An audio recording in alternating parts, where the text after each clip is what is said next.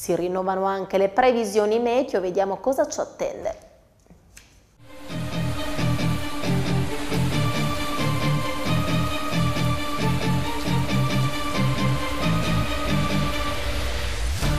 Queste le previsioni meteo per domani, venerdì 3 novembre. Di notte e dal mattino il cielo si presenterà velato su gran parte della regione.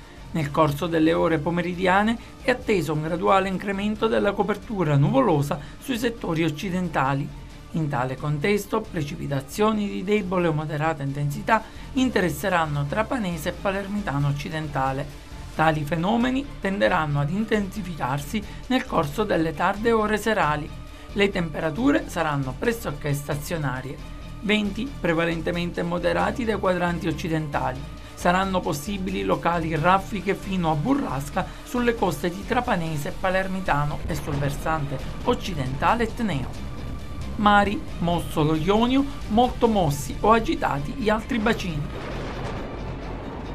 Queste previsioni sono fornite grazie alla collaborazione con il Centro Meteorologico Siciliano, sigle a cura di AP Web Radio e Social TV.